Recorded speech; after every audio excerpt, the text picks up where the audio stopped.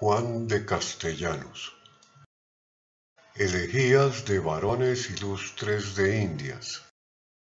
Suceden entre tanto que vivimos casos que razón pide que notemos, los cuales, si pesamos y medimos, a gran admiración nos moveremos, y más si grandes cosas que no vimos, presentes y palpables las tenemos, como fue descubrir un nuevo mundo que yo tengo por hecho sin segundo, no porque sean dos, pues solo una máquina se rodea de elementos, un solo sol y una sola luna, unos mismos etéreos movimientos, sin tener más o menos cosa alguna sus cursos naturales o violentos, una fábrica es y un mundo solo cuando ciñen el uno y otro polo.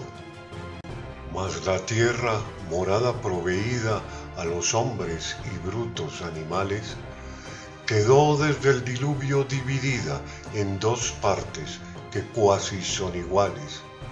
La una nunca vista ni sabida, sino fue de sus mismos naturales, y acuesta tiene tan capaces senos como la otra, o harto poco menos. Hay infinitas islas y abundancia de lagos dulces, campos espaciosos, sierras de prolijísima distancia, montes excelsos, bosques tenebrosos, tierras para labrar de gran sustancia, verdes florestas, prados deleitosos, de cristalinas aguas, dulces fuentes, diversidad de frutos excelentes, ríos que cuando llegan a lo llano llevan sus aguas tan potente hilo que son pequeños Ganges y Eridano, y en su comparación el turbio Nilo, son arroyos y daspes y el Rodano, y Bragada que va siempre tranquilo. Menos tiene que ver Sindus y Reno, Éufrates, Danubio y Amaceno.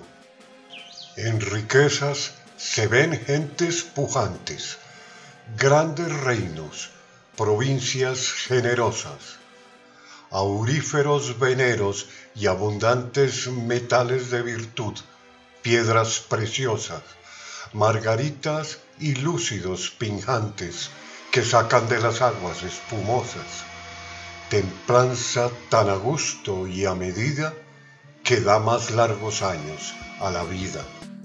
Pues porque nuestro mundo poseyese un mundo tan remoto y escondido, y el sumo hacedor se conociese en mundo donde no fue conocido, levantó Dios un hombre que lo diese a rey que lo tenía merecido, y ansí los dos y sus distantes gentes vinieron a ser deudos y parientes.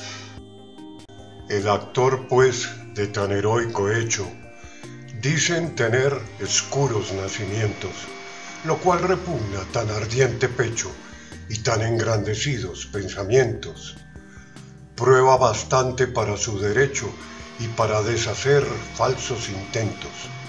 Y así creemos ser esclarecido y en las tierras de Génova nacido. También le dan estirpe generosa, afirmando por cierto que venía de Pelestieles, gente valerosa, familia principal en Lombardía. Mas sea como fuere la tal cosa, fue Cristóbal Colón su nombradía y yo, cierto, generoso llamo al tronco que nos dio tal alto ramo.